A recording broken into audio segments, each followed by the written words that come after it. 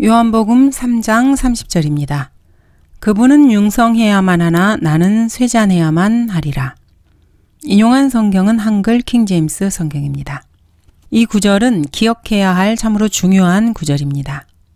침례인 요한은 이 성경 말씀 기준으로 현재 매우 중요한 역사적 분기점에서 새로운 시대의 도래를 선언하고 있습니다. 그리고 자신은 뒤로 물러나 투옥되었다가 참수형에 처해질 것을 여기서 이미 보이고 있습니다. 새 시대 즉 교회 시대의 주인공이신 그리스도께서는 융성하셔야 하고 이제 과거의 경륜인 율법 시대에 속한 침례인 요한은 그 시대와 함께 끝을 고해야 합니다. 침례인 요한은 앞으로 오게 될 교회 시대를 내다보면서 이런 말을 하고 있습니다. 침례인 요한이 이 말을 하고 있는 시점은 아직 그리스도의 신부인 교회가 형성되기 이전입니다. 예수 그리스도의 유기체적인 몸이 형성되기 전에 그것을 미리 내다보고 말하고 있습니다. 교회는 예수 그리스도의 유기체적인 몸으로 형성되고 그 다음에 아내가 되려면 또 얼마 있어야 합니다. 예수 그리스도께서 다시 오셔서 썩지 않고 부활해서 휴거된 후 하늘에서 혼인식을 치르게 됩니다. 남편이 아내의 머리됨이 그리스도께서 교회의 머리됨과 같음이라. 그는 몸의 구주시라고 에베소서 5장 23절에서 말씀하십니다. 이 말씀은 포괄적인 의미로 그리스도께서 지금 교회의 남편이라고 말할 수는 있지만 정확히는 교회가 아직 신부요 그분의 몸이라는 것입니다. 이는 우리가 그의 몸과 그의 살과 그의 뼈의 지체임이라. 이것은 위대한 신비입니다. 이것은 위대한 신비라. 그러나 나는 그리스도와 그 교회에 관하여 말하노라고 바울도 이 신비에 대해서 이렇게 말하고 있습니다. 그분은 융성해야만 하나 나는 쇠잔해야만 하리니. 이 말씀은 그리스도인들의 실생활에서도 영적으로 적용해서 교훈을 삼기에 좋은 말씀입니다. 그리스도께서는 죽으시기 위해 세상에 오셨습니다. 그리고 죽으셔서 모든 시대에 걸쳐 영원토록 살아계십니다. 이것이 그리스도인들이 영적으로 적용할 수 있습니다. 여러분도 융성해지기 위해서는 먼저 쇠잔해져야만 합니다. 이것은 참으로 아름다운 교훈입니다. 그리스도께서 융성해지시기 전에는 여러분들도 쇠잔해질 수 없다는 사실을 알아야 합니다. 여러분이 그리스도인이라면 성령에 의해서 한 몸 안으로 침례를 받고 성령으로 채워지면서 여러분은 육신을 버리게 되고 육신적 능력이 사라지고 성령의 능력으로 살아가게 됩니다. 성경은 그리스도인들에게 먼저 육신을 죽이고 자신이 죽은 것으로 여기라고 가르치고 있습니다. 그렇지만 그리스도인들이 그렇게 할 수 있느냐? 이것은 먼저 성령님께서 여러분들 안으로 들어오시지 않고서는 불가능합니다. 일상생활 중에서 시시각각으로 고개를 드는 그리스도인들의 육신의 힘에 저항해서 싸워야 합니다. 그러나 이 싸움에 번번이 실패하게 되는 것은 먼저 성령님께서 그 사람을 충만하게 채워주실 것을 기도하지 않기 때문입니다. 그리스도인들이 늘 성령 충만함으로 기도해야 되는 이유가 바로 여기에 있습니다. 그리스도께서 융성하지 않으시면은 나 자신 역시 쇠잔해지지 않기 때문입니다. 이런 상태에서는 그 어떤 일을 해도 능력을 발휘해서 성공적으로 수행해 나갈 수가 없습니다. 31절입니다.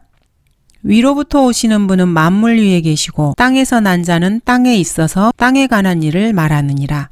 하늘에서 오시는 분은 만물 위에 계시느니라. 침례인 요한은 예수 그리스도를 한껏 높여드리고 있습니다. 예수님께서는 위로부터 오셨고 그래서 만물 위에 계십니다. 하지만 요한은 땅에서 난 사람이기 때문에 땅에 관한 일에 대해서 말을 하는 것입니다. 요한복음 3장 30절을 영적으로 한번 적용해 보면은 그리스도인의 본성에서 육신의 부분을 쇠잔하게 해야 합니다. 그렇게 하려면 먼저 성령으로 충만해야 합니다. 성령께서 융성하셔야만 그리스도인이 쇠잔할 수 있기 때문입니다. 그러나 요한의 경우에는 이 말씀이 실제 문자 그대로를 의미합니다. 요한은 감옥에 갇히고 참수형을 당해서 쇠잔해질 것입니다. 예수 그리스도께서는 죽은 자들로부터 살아나시고 지금과 또 영원 무궁토록 모든 정사와 권세보다 뛰어나게 되심으로써 융성해지셨습니다. 32, 33절입니다. 그분이 보고 들은 것을 증거하시나 아무도 그분의 증거를 받아들이지 않느니라. 그분의 증거를 받은 사람은 하나님께서 참되시다는 것을 확증하느니라. 32절에서는 아무도 그분의 증거를 받아들이지 않는다고 말합니다. 그런데 33절에서는 그분의 증거를 받은 사람이 어떠한지에 대해서 말씀하고 있습니다. 이는 그분의 증거를 받은 사람이라면은 하나님께서 참되시다는 것, 즉 하나님의 말씀을 그대로 신뢰하지 않으면 안 됩니다. 그런데 실제로는 그렇지 않기 때문에 그분의 증거를 듣고도 그분의 증거를 받아들이는 사람은 아무도 없는 것이나 마찬가지라는 뜻입니다. 31절에서 땅에서 난 자는 땅에 있어서 땅에 관한 일들을 말한다고 말씀하십니다. 34절에서는 하나님께서 보내신 분은 하나님의 말씀들을 말씀하신다고 말합니다. 하나님께서 그에게 성령을 한량 없이 주시기 때문이라는 것입니다. 즉, 그분의 증거를 받은 사람이 하나님의 말씀을 믿을 때 성령께서 역사하셔서 하나님의 참되심을 확증하게 된다는 뜻입니다. 32절입니다. 그분이 보고 들은 것을 증거하시나 아무도 그분의 증거를 받아들이지 않느니라. 주님께서는 위로부터 오셨습니다. 주님께서는 우주 밖에서 오셨습니다. 그리고 그 사실을 증거하셨습니다. 그런데 사람들은 아무도 이 사실을 믿을 수가 없었습니다. 그분의 증거를 받은 사람은 하나님께서 참되시다는 것을 확증하느니라. 확증한다는 것은 백지 위에 하나님께서는 참되시다 이렇게 써놓고 거기에 서명 날인까지 해서 확실하게 증언해 놓았다는 말입니다. 이렇게 할 수 있는 것은 자기 머리로 이치를 따져서 하는 것이 아니라 하나님께서 그에게 성령을 한량 없이 부어주셨기 때문에 가능합니다. 예수 그리스도께서도 그러셨기 때문에 하나님의 말씀을 말씀하실 수가 있으셨습니다. 14절입니다. 하나님께서 보내신 분은 하나님의 말씀들을 말씀하시나니 이는 하나님께서 그에게 성령을 한량 없이 주심이라. 예수님께서는 요한복음 8장 47절에서 바리새인들에게 말씀하실 때 그리고 6장 63절에서 제자들에게 말씀하실 때 계속해서 복수로서의 하나님의 말씀들 혹은 말들이라는 표현을 사용하고 계십니다. 하나님의 말씀들을 복수로 표현하고 계십니다. 하나님의 말씀들을 말씀하신다. 자, 이것은 하나님의 무엇을 말씀하신다는 것입니까? 하나님의 근본 원리들, 하나님의 가르침, 하나님의 원칙, 하나님께서 하신 말씀들을 말씀한다는 뜻입니다. 이는 하나님께서 그에게 성령을 한량 없이 주심이라. 예수님께서 이 땅에 초림하셨을 때 하나님께서는 예수님께 성령을 한량 없이 주셨다는 것은 정능하신 하나님께서 몸소 그분의 육체 속에서 성령으로 구현되어 계신다는 것을 말합니다. 그분 안에는 신격의 모든 충만함이 몸의 형태로 거하시나니 신격의 모든 충만함 이것이 예수님 안에서 몸의 형태로 거하신다면은 이것은 예수님께서 성령을 한량 없이 받으신 것이기 때문입니다.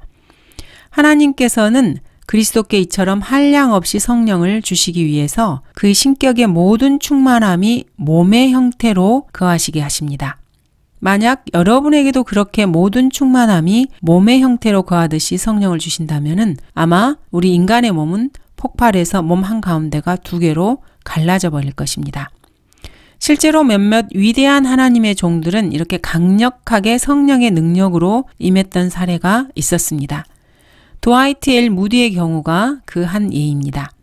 무디 목사는 한때 어떤 사역을 위해서 뉴욕에 몇 달간 머물고 있는 동안에 자신의 사역과 기도에 기름을 부어주시고 복을 내려달라고 하나님께 기도하고 있었습니다. 하루는 뉴욕 시내 한복판을 걸어가고 있다가 갑자기 자신에게 어떤 강력한 능력이 덮쳐오는 것을 느끼고 도저히 견딜 수가 없어서 비틀거리면서 호텔방으로 돌아가 하나님께 매달리면서 기도하기를 자기가 견뎌낼 수 없어 죽을 지경에 이르렀다고 그렇게 말했습니다. 그리고 하나님께서 성령 충만을 좀 멈추어 달라고 기도해야만 했습니다. 이런 것은 아주 특별한 사례에 속합니다. 자, 그렇지만 찰스 지 피니 역시 이와 비슷한 체험을 했고 그 정도는 아니었지만 아레이 토레이 역시 이와 비슷한 경험을 하기도 했습니다. 빌리 썬데이의 경우는 이보다 훨씬 더 미약하긴 했지만 역시 비슷한 경험을 했다고 간증하고 있습니다. 가난한 사람들에게 복음을 전파할 때 이사야 61장 1의 상황이 자신에게 재현되는 것을 느꼈다고 말을 했습니다. 이사야 61장 1절 말씀은 이렇습니다. 주 하나님의 영이 내게 임하셨으니 이는 주께서 내게 기름을 부으사 온유한 자에게 기쁜 소식들을 전파하게 하셨습니다. 그가 나를 보내심은 마음이 상한 사람들을 싸매고 포르된 자에게 자유를 갇힌 자에게 감옥이 열림을 선포하며 러크만 목사님 역시 당신도 이런 체험을 한 적이 있나요? 라고 묻는다면 그렇다라고 대답을 하실 것이라고 말씀하셨습니다. 그러나 이러한 체험을 웬만해서는 성경대로 믿는 사람들은 다른 사람들에게 말하지 않습니다. 왜냐하면 이런 이야기를 들으면 자기도 모르게 스스로를 그 사람과 비교하면서 나는 왜 그런 체험을 하지 못하지? 이렇게 쓸데없이 아쉬워하기 때문입니다. 그러다가 또 그런 체험을 시도해 보려다가 본의 아니게 실족하기도 하기 때문입니다. 어떤 사람은 구원을 받고 난 후에 자신을 그리스도께로 인도해 준 사람에게 제가 구원받았다는 이야기를 다른 사람에게는 제발 하지 마세요. 나를 멍청이라고 생각할 거예요. 이렇게 말하는 사람도 있습니다. 또 아무런 능력도 드러내지 못하는 자들이 너도 나도 자기들도 이런 식으로 성령의 능력을 강하게 체험했다고 떠버리고 다니는 그런 사람들도 있습니다. 이게 구령의 능력인가 오순절의 불길인가 존 알 라이스의 책에서도 이런 비슷한 언급을 한 적이 있습니다. 그러므로 그리스도인들은 누가 성령 충만한다 또는 성령 침례에 대해서 뭐라고 말을 할 때 한편으로는 무디나 피니 같은 그런 사람들이 있다고도 생각을 하지만 다른 한편으로는 라이스 같은 사람들도 있기 때문에 그 중간에서 그런 것을 잘 판단해보고 그 사람의 진위가 무엇인지 아주 주의해서 판단을 해야 합니다. 성령 충만이나 성령 침례, 성령의 기름 부음, 이런 말들을 계속해서 입에 달고 다니는 사람들은 이상하게도 무디나 피니, 빌리 썬데이, 토레이 같은 사람들과는 전혀 딴판입니다. 이 시대에는 그렇습니다. 이런 사람들은 모두가 도와달라고 손을 내미는 그런 자들입니다. 이 사람들은 은사주의자들로서 능력의 기름 부음을 받았다는 자들이 한결같이 손을 내밀고 있습니다. 이것은 참으로 이상하지 않을 수 없습니다. 소아가트 사람은 6주 동안이나 라디오 프로그램을 진행하면서 당신이 내게 뭘 주면 하나님께서 당신에게 뭘 줄 거예요. 이런 식으로 심심찮게 말을 합니다. 이것은 현대 한국 교회의 은사주의자들 역시 마찬가지입니다. 이런 자들은 한결같이 하나님의 말씀을 이리저리 마음대로 돌려대면서 별별 소리를 다 만들어 사람들을 속입니다. 그렇지만 그 전체 내용 결론을 보면 결국은 여러분이 내게 돈을 보내면은 하나님께서 여러분을 부자로 만들어 줄 거예요. 이런 식의 내용 일색입니다. 미국에서도 역시 성령의 기름 부음을 떠들어대는 자들이 많이 있습니다. 그렇지만 1933년 이후로 사실은 한 번도 참된 부흥 운동이 일어난 적은 없습니다. 이런 사람들이 부흥 운동을 일으킨다고 설쳐되는 것은 죄인들을 그리스도께로 인도하는 사역과는 전혀 상관이 없습니다. 이들은 TV에 등장해서 정신 나간 그리스도인들을 향해서 성경을 높이 치켜들고 주를 찬양합시다 이렇게 외쳐대면서 거액의 돈을 모금하는 일에만 관심을 보일 뿐입니다. 그런 사람들이 아무리 설치고 돌아다녀도 그 도시의 어느 술집 하나 문을 닫는 법이 없습니다. 어느 포르노 영화관이나 또는 성인용 TV 프로그램 하나 문을 닫지 못합니다. 이런 자들이 미치광이 짓을 진행하고 있는 동안에 그 도시에서는 그에 비례해서 온갖 더러운 일들이 더욱더 고개를 쳐들고 있습니다. 신문 잡지에서는 거짓말이 증가하고 한때 설교문을 실었던 뉴스 저널 이런 것들이 다 사라지고 맙니다. 5, 60년 전까지만 해도 펜사콜라 뉴스 저널이라는 신문에서는 두 페이지 정도 설교문들을 실었습니다. 그러나 이제 더 이상 이런 일들은 일어나지 않습니다. 하나님께서 누군가에게 특별한 기름 부음을 주실 때에는 그 사람이 수행해야 할 적절한 사명이 반드시 있습니다. 그래서 그에 맞는 적절한 임무를 부여하시는 것입니다. 하나님께서 여러분에게 어떤 사명을 맡기실 때는 반드시 여러분에게 적절한 기름 부음을 주십니다. 여러분은 이 하나님의 기름 부음을 함부로 남용해서는 안 됩니다. 하나님께서는 여러분이 수행하기 원하시는 그 일을 다른 사람에게 맡기지 않으십니다. 하나님께서 여러분에게 어떤 사명을 주신다는 것은 이전에 하나님의 사람들이 다 수행하지 못한 어떤 일을 여러분에게 주고 있는 것일 수도 있습니다. 이 점에서 하나님께서 여러분에게 뭔가 일을 주신다는 것은 참으로 큰 은혜요, 영광입니다. 어쩌면 하나님께서는 찰스 피니가 공산국가의 강제 수용소에 들어가 13년간 갇혀서 고문을 당하거나 거기서 죽기를 바라셨는지도 모릅니다. 지금 하나님께서는 이런 일들을 여러분이 해주기를 바라시는지도 모릅니다. 이런 일을 다른 사람들에게 맡기지 않으시고 왜 하필 나 개인에게 맡기셨는가 생각해 본다면 그 자체가 큰 축복이요 은혜입니다. 그러나 어떤 일이 되었건 간에 하나님께서 여러분에게 어떤 일을 맡기신 일이라고 스스로 판단해서는 안 됩니다. 우리 그리스도인들이 해야 될 일은 오직 확실하게 하나님께 죄를 자백했는가를 스스로 판단해야 하는 일, 그리고 자신이 성령으로 충만해 있는가를 확인하는 일입니다. 그리고 성령으로 충만하지 않다고 생각이 되면은 성령으로 충만하도록 하나님께 강구하는 일을 해야 합니다. 여러분에게서 성령이 새어 나갔다. 이렇게 판단이 되면은 다시 재충전해 달라고 하나님께 기도하는 일. 우리 그리스도인들은 이런 일을 해야 합니다. 34절입니다. 하나님께서 보내신 분은 하나님의 말씀들을 말씀하시나니 이는 하나님께서 그에게 성령을 한량 없이 주심이라. 구원받은 사람이라면은 몸의 절반은 성령으로 채워지게 됩니다. 근데 그 성령은 마치 물과 같습니다. 그러면 그 사람은 유리 항아리인 것입니다. 그 안에 성령의 물을 받습니다. 그리고 아구를 봉입하여서 막아버립니다. 하나님의 거룩한 영을 슬프게 하지 말라. 너희가 그로 인해 구속의 날까지 인치심을 받았느니라. 성경에서 인치심이라는 것이 바로 그런 것입니다. 그리스도인들 속에 들어오신 성령님께서 밖으로 빠져나가지 못하시는 것입니다. 여러분이 그리스도인이라면 여러분 안에 들어오신 성령님이나 또는 내 속에 들어오신 성령님이 다 같은 성령님입니다. 이분은 하나님의 신격으로 하나님께서 구원받은 사람들에게 나누어 주신 것입니다. 이렇게 해서 구원받은 사람들은 하나님의 신격의 일부가 된 것입니다. 성령의 물이 담겨 있는 유리 항아리를 아구가 인친 채로 버너에 올려놓고 끓이면은 유리 항아리 속은 수증기로 가득 차 터질 것처럼 됩니다. 이것이 바로 성령 충만한 상태입니다. 수증기 방울 하나라도 밖으로 새 나가지 못하고 밖으로 물방울 하나라도 더 첨가되지 않았기 때문에 유리 항아리 속의 물은 원래 그대로의 물이고 원래대로 같은 양의 물입니다.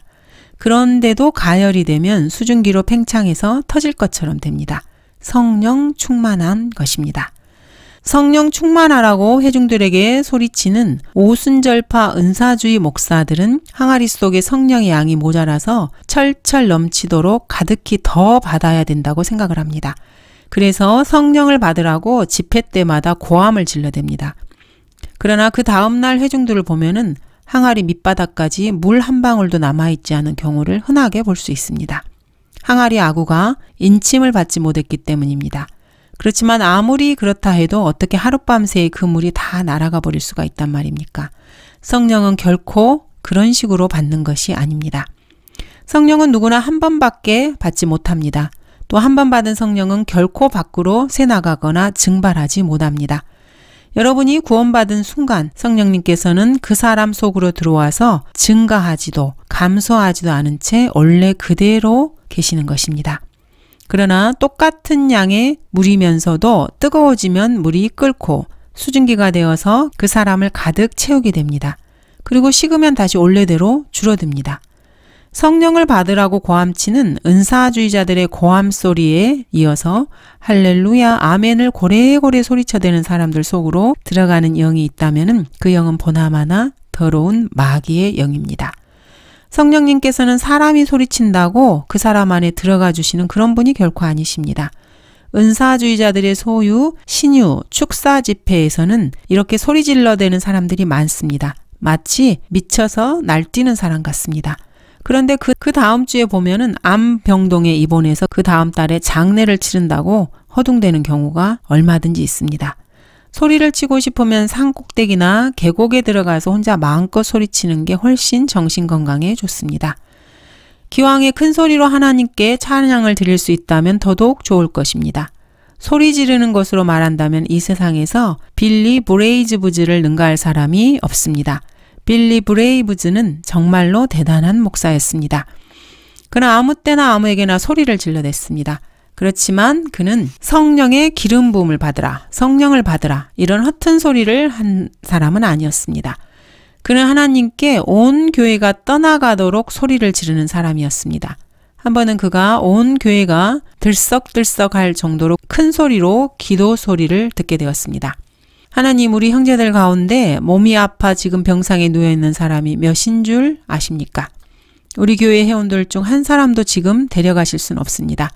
아시겠습니까? 꼭 데려가시겠다면 제발 저를 데려가 주십시오. 주님 보십시오. 저는 준비가 다 되어 있습니다. 아멘. 자, 이만하면은 왜 그가 그렇게 소리를 질러 댔는지 이해가 가십니까? 그는 특별한 기름 부음 따위를 외쳐대지 않았어도 그의 입에서는 항상 멋진 그리스도인의 외침 소리가 끊이지 않았습니다. 35절, 36절입니다. 아버지께서 아들을 사랑하시어 모든 것들을 그의 손에 주셨으니 아들을 믿는 자는 영생을 가졌고 그 아들을 믿지 않는 자는 생명을 보지 못하고 오히려 하나님의 진노가 그 사람 위에 머물러 있느니라고 하더라. 하나님 아버지께서는 아들이신 예수 그리스도의 손에 모든 것을 주셨습니다. 그렇게 예수님을 사랑하셨습니다. 아들을 믿는 자는 영생을 가졌고 참으로 위대한 구절입니다. 아들을 믿지 않는 자는 생명을 보지 못하고 오히려 하나님의 진노가 그 사람 위에 머물러 있느니라. 밑줄을 그어야 할 만큼 중요한 구절입니다. 언제입니까? 바로 지금입니다. 머물러 있다. 현재 시제입니다. 하나님의 진노가 지금 위에 머물러 있는 그 사람이 그 진노를 느낄 수 있을까요? 아닙니다. 느낄 수 없다면 그 사람 위에 머물러 있는 게 아닌 겁니까? 그렇지 않습니다. 그 사람 위에 하나님의 진노가 머물러 있습니다. 그 사람이 느끼든지 느끼지 못하든지 상관없이 그 아들을 믿지 않는 자는 생명을 보지 못하고 하나님의 진노는 지금 그 사람 위에 머물러 있습니다. 구원받지 못한 사람은 술 마시고 흥청대도 하나님의 진노 아래에서 그러는 것이고 즐거운 척 노래를 불러도 하나님의 진노 아래에서 노래를 부르는 것입니다. 무슨 짓을 하든 무슨 생각을 하든 모두 하나님의 진노 아래에서 행하는 것입니다. 자신의 느낌을 신뢰해서는 안 됩니다. 구원받은 사람은 자신의 느낌을 신뢰할 수도 있습니다. 그러나 구원받지 못한 사람은 자신의 느낌을 절대로 믿을 수가 없습니다. 왜 그렇습니까? 구원받지 못한 사람의 위에는 하나님의 진노가 머물러 있기 때문입니다. 현대 기독교에서는 구원받지 못한 죄인들에게 이런 식으로 접근하지는 않습니다. 그렇게 했다가는 돈이 전혀 들어오지 않기 때문입니다. 현대 기독교에서는 아무나 붙잡고 하나님은 당신을 사랑해요 이렇게 속삭여 줍니다. 그러면은 기분이 좋아져서 돈 봉투를 내밀기 때문입니다. 현대 기독교에서는 이런 사람들에게 더욱더 상냥하고 따뜻하고 부드럽고 다정하게 대합니다. 그러면 사람들이 더 많은 돈을 내기 때문입니다. 현대 기독교는 사람의 마음속이 어떻든지 누구와 말다툼을 하든지 싸우고 욕지거리를 하든지 좋은 게 좋은 거 아닙니까? 하고 서로 사이좋게 지내려고만 합니다. 현대 기독교는 고통을 싫어하고 박해도 속상해하는 것도 다 싫어합니다. 사람들에게 욕먹을 짓을 아주 피합니다. 현대 기독교는 십자가 없는 기독교입니다. 누구라도 나를 따라오려거든 자기를 부인하고 날마다 자기 십자가를 지고 나를 따르라고 예수 그리스도께서는 말씀하셨습니다. 그러나 현대 기독교는 예수님의 말씀과는 전혀 다른 입장을 취합니다. 그들은 누가 구원받은 그리스도인이라 해도 어떻게 해서든지 그 십자가를 벗겨주려고 친절함을 베풉니다. 현대 배교왕 교회에서는 누구나 하나님께서 당신의 이러한 점을 싫어하십니다. 하나님께서는 당신의 저러한 점에 대해서 화를 내셔요. 이런 말은 하는 것은 고사하고 당신이 예수 그리스도를 믿지 않으면은 지옥에 갑니다. 이런 소리도 극도로 꺼립니다. 지옥이 유황에 타는 불못이고 거기에 가면 죽지도 않고 영원토록 참을 수 없는 고통을 당해야 한다는 소리는 더더욱이나 하지 못합니다. 그런 말을 했다가는 다음 주일부터 교회 회원수가 10분의 1로 줄어드는 것을 두려워하기 때문입니다. 이것이 정말로 그런가 한다면은 유명해지고 싶어 하는 기독교 방송 채널의 설교를 몇 개 들어보시기 바랍니다. 하나님께서 사람들을 미워하신다고 말하는 것을 결코 즐거운 마음으로 말하는 것은 아닙니다. 하나님께서는 여러분을 사랑하시는 것은 사실입니다. 그러나 여러분이 갈보리 십자가와 상관이 없는 사람이라면 하나님께서는 그 사람을 절대로 사랑하지 않으십니다. 여러분이 아무리 이러한 말을 하는 사람을 증오하고 원망해도 이것은 거짓말할 수 없는 사실입니다. 하나님의 사랑이 나타나는 곳은 오직 한 곳입니다. 죄인들을 향하신 하나님의 사랑이 나타나는 곳, 그곳은 교리적으로든 실제적으로든 피와 땀, 눈물, 못, 성령, 고통, 신성 모독, 살인이 있는 곳, 오직 그것뿐입니다. 사람으로 태어난 사람이 그곳으로 들어가지 않으면 그 사람은 하나님의 사랑을 절대 발견할 수 없습니다. 배교한 현대 기독교가 사람에게 주고 싶어 하는 것, 여러분에게 주고 싶어 하는 사랑은 사실 갈보리와는 전혀 상관이 없는 정체불명의 사랑입니다. 그 사람들이 하는 말이나 노래에 담겨 있는 메시지, 이것은 주님이 당신을 사랑해요. 당신이 주님을 사랑해요. 우리 서로 사랑해요. 여기에 사랑을 담아요. 자, 여기에 현금 주머니 있어요. 이런 식입니다. 그렇지만 여러분이 알아야 할 것은 바로 이것입니다. 내가 그들을 위하여 기도하나이다. 나는 세상을 위하여는 기도하지 아니하고 다만 아버지께서 내게 주신 자들을 위하여 기도하나이다. 그때 너희는 그리스도로부터 분리되어 있었고 이스라엘 나라에 속하지 않는 타국인이요 약속의 언약들로부터는 생소한 사람이었으며 소망도 없고 세상에서 하나님도 없었느니라. 구원받지 못한 사람을 위해서 그리스도께서는 기도하지 않으신다고 말씀하십니다. 구원받지 못한 죄인은 그리스도로부터 분리되어 있고 소망도 약속도 하나님도 없는 세상에 살고 있다는 말씀입니다. 성경은 언제나 세상에 대해서 부정적입니다. 절대로 긍정적인 데가 없습니다. 성경은 구원받지 못한 죄인은 이 세상의 풍조를 따르고 공중권세의 통치자, 곧 지금은 불순종의 자녀들 안에서 역사하는 영을 따라 행하는 사람들이라고 말합니다. 그리고 본래 진노의 자녀였다고 딱 잘라 말씀하십니다. 오늘날의 현대 기독교에서는 절대로 이런 말을 하지 않습니다. 그 사람들이 하는 것이라는 것은 성경에서 가르치고 있는 모든 진리 가운데서 최소한 십자가와 갖는 그 관계를 제거해 버리는 것입니다. 배교한 현대 기독교는 예수 그리스도를 문 밖으로 내쫓아버린 기독교입니다. 그래서 주님은 이렇게 말씀하십니다. 보라, 내가 문 앞에 서서 두드리노라. 누구든지 내 음성을 듣고 그 문을 열면 내가 그에게로 들어가서 그와 함께 먹으며 그도 나와 함께 먹으리라. 감사합니다.